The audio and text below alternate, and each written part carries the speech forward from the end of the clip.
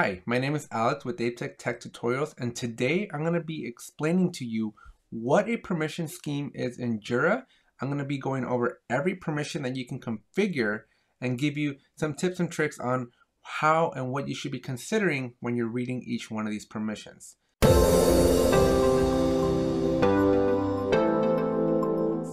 If you haven't already, please make sure you're subscribed, drop a like, and if you have any questions about anything in this video, please let me know in the comments section below. Alright, so this video is technically a part two last week's video. Last week we covered global roles, and so just having roles in Jira doesn't actually really do much. Having these roles that we created last week, or in my last video where I talked about the roles, the administrators, developers, and users, isn't very powerful. They're just a role. And so today I'm going to go into the permission schemes and I'm going to show you how we can take we can take these roles that we created in that one video and how we can enable them, how we can empower them in the permission scheme. And you're going to want to make sure you subscribe and you're going to want to make sure you drop a like because in the next week's video, I'm going to be showing you then how to put it all together and how it actually comes into play within a Jira project so that you can manage those access and permissions to your Jira projects. But today, we're going to be talking just about the permission scheme. So to get to the permission schemes in Jira, you're going to want to be a site administrator for this. You're going to click on the gear. We're going to go down to issues. And on the left-hand side over here, we're going to make our way all the way down to the very last item, which is the permission schemes. A best practice here, something I like to do is I like to just copy the default software scheme and then go from there. Now the reason that is, is because if I click on add a permission scheme and I'm making a brand new one,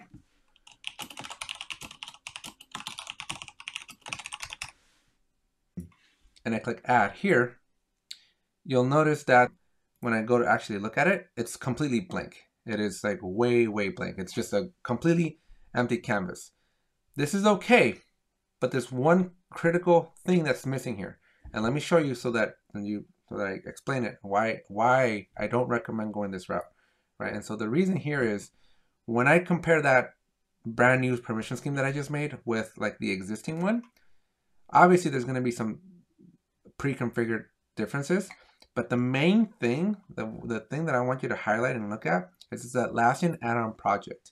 This for for other plugins or other just capabilities built into Jira, they don't even have to be like an external third party plugin, but just stuff in Jira like automation rules.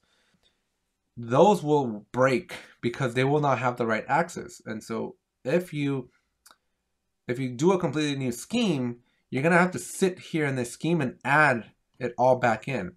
And rather than just doing that, I rather start with a with a template that already has information and then just modify from there. Otherwise, I'm gonna have to update and add like the administrators because some of these things already do make sense, right? You want the role administrators to be able to administer projects, and then you want the Atlassian add-ons project access to pretty much be on everything. What you don't want, and what we're going to be talking about today, is you don't want any logged in user to have everything everywhere. So this is the only downfall. Fortunately, though, removing um, any logged in user is way easier and way, very much quicker, right? It's so much easier for me to click on remove and select this checkbox and then click remove than it is for me to go into my other one, the, the new brand new permission scheme, come into update, come down, try to figure out where the Jira add-on is. I think it's here, right? And then I got to click here and then I got to hit update. So you see the number of clicks and then I got to do it for each one. I don't think that juice is worth that squeeze. So, but just make a copy of the default one. You're to thank me later. So I'm just to call this one. It'll automatically add copy, so you don't even get to name it right away. So the first thing you want to do is once you make the copy, come over here, edit it, and then change it to whatever name you want. So this is just going to be demonstration default software scheme. Okay, I'll click on update on that, and then uh, feel free to change the description. I never do, but it just future self will always hate me because I never do that. Let's take a look at the permissions, right? Let's let's look at these demonstrations and kind of deliver on what I was telling you that I was going to walk you through. So permission schemes have to be probably one of the most confusing things that people try to do. So I'm going to try to, in the next five minutes or so, I'm just, just trying to give you the highlights and give you what you need to know what's critical and, and just hopefully make managing permissions way easier for you. So the first thing is administer projects. This is very, very just obvious. But essentially what this administer projects does is when you go into a project, I'm just going to quickly open up a project. It will allow you on the left hand side to see project settings. So if you don't want somebody to be able to change the settings of the project, like the name, add components, add releases, add people, right? If you don't want people to do that, guess what? You are not going to want them to be able to administer the project. And now I haven't talked about this yet, but you should see at administrators as a role. So this corresponds to that global permission that we did in that last video where I have the permission of administrator. Okay. Who's an administrator will be defined in the next video. That's not in scope for this video. So in the next video, you're going to want to make sure you come back. So make sure you subscribe, make sure you drop a like. Because in the next video, we're going to teach you then how do I now associate a person, an individual, somebody in my company to this to these roles that I created. Make sure you come back for that. So anyways, that's the administer project. We'll leave that one alone. This one's out of the box. This is perfect because I only do want people that are in the role of administrator to be able to administer the project browse projects. This right here, most important out of all of them. If you take anything away from this video, it's the browse project. This this has to be the most critical permission uh, in, in all of these permission schemes here, okay? So what the browse project does is it's a bouncer at a club. It is some it is a rule that stands in front of everybody and says, do you meet the qualifications? Okay, and the qualifications are defined by project rule over here on the right. So this bouncer is basically saying, are you any logged in user? Yes, okay, you can pass and now you can see the project. This is good if you want any logged in user to see your projects. However, I have a funny feeling that you probably don't want just anybody and everybody in your company to be able to see your project. So first tip here is you're gonna wanna remove any logged in user from browse projects because that essentially will basically make it so that other people cannot see your project, right? But now the problem is nobody can see the project right now. So we're going to have to actually provide some power. We're going to have to update it. So the people that I want to be able to see the project are going to be in the role of administrators. And I, I unfortunately have to do this three times. The project role of developer. And then the, the project role of user, right? Because I, I want all of these three types of roles to be able to see the project. Whether I want them to create things or delete things or edit things, that happens later. That'll we'll, we'll talk about that in a second.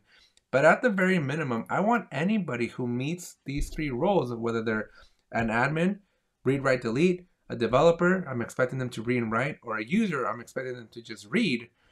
I want them to at least be able to see the project. So that means that when they come to that bouncer, when they come to the club, the bouncer is going to say, okay, you're a developer, you can come in. You're a user, you can come in. If an individual doesn't meet, is not assigned one of these roles, they won't be able to come in. And then that that right there is your gate, right? This is your gatekeeper, and this will prevent unauthorized users from coming into your project. Now, this is where things get interesting. Once you made it into the project, right? So once you've actually made it past this bouncer check and you're in the project, now the any logged in user doesn't matter so much because even though it still says any logged in user, it's very misleading. It's not any logged in user, it's any logged in user that has made it past the authorization of the browse project. So my typical, because I do believe in like openness, I will leave this basically the way it is right now. I won't touch a single uh, setting. And so I'll walk you through some of the settings and tell you why.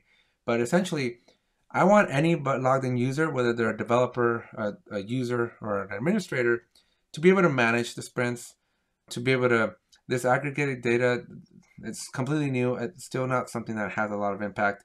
Development tools, they can view the development tools. The read-only workflow, they can do that. Where things get more interesting is in the issue permissions. Down here is where you might have a difference of opinion. Here's where you're like, well, what's the point of having a user role, right? I don't want my users that that have the user role to be able to create issues. So simply put, I can just delete it here, right? And and under create, I can now just say, well, you have to be in the role of administrator and you have to be in the role of developer.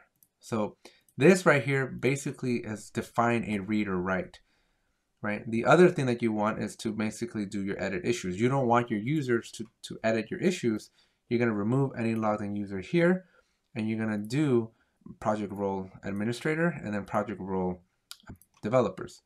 Now, I stated, and I now um, I sound like I'm contradicting myself, but I typically don't have like the roles of of administrator, developer, and user. I typically just have like administrator and everybody else.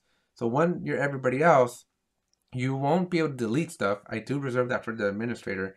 You won't be able to administer the project. I do reserve that for the administrator. But everything else, whether you're creating, you're being assigned, you're assigning issues, you're closing, you're resolving, you're setting the dates, all of that stuff, that can usually be opened up to pretty much everybody in the project. Because as long as you you've passed that first gate of browse permission, I believe you should be able to do pretty much everything but delete and obviously administer the project. But if that's not that's not how you want to roll, um, that's cool. So essentially, now you just have to configure each one of these. The so the assignable user will go through these, is so that the individual can be actually assigned. So that means that they can take ownership. They can be given ownership of an issue. The assigned issues basically means that I can now pick somebody's name and give that issue to them. Closed issues is the person that will finally move something to an actual the final status. Now, the difference between close and resolve still blows my mind. I don't know what's the difference here. I'll have to Google it one day. But just take just take for now, just understand that close and resolve a little bit farther down should be treated as one and the same, at least for now. Uh, create is self-explanatory, right? They'll be able to create the issue. Delete, again, be able to delete. Now, edit is kind of interesting, right? So you may find yourself in opportunities where you want someone to be able to create the issue, but not delete it um, or vice versa, right? Maybe you don't want them creating issues, but you want them interacting with issues that exist already. So that's what you want that setting for. Link issues is to literally connect issue A with issue B. Modify reporter is automatically the person that clicks the create button becomes the reporter. Sometimes they're doing that on behalf of somebody else. And so if you want them to be able to change the who the reporter is, you'll want to make sure they have this power. Move issues. This one's tricky. So this is basically serves two purposes.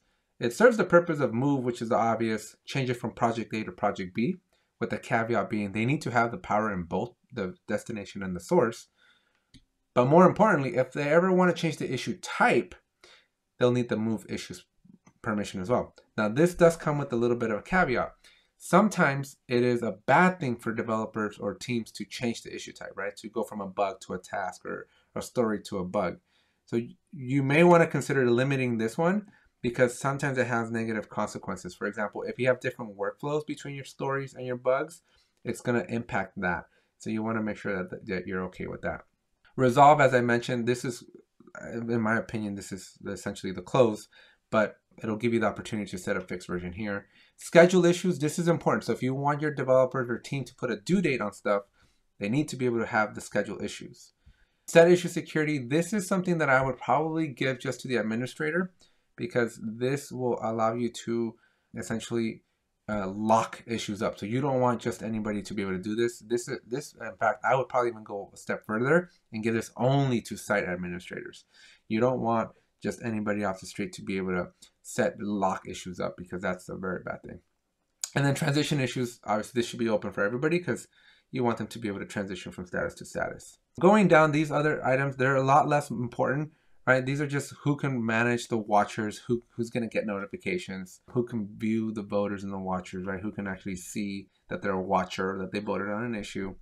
On the comments, the only thing here is delete all comments. I reserve it for administrators, but anybody should be able to add a comment. Anybody should be able to delete their own comment. Okay, so don't don't confuse the two. This is not delete all the comments from any ticket should be reserved for an administrator delete your own comments. If you make a mistake, you should be able to delete them. So this is usually edit um, allowed for anybody. Same thing with edit all comments, right?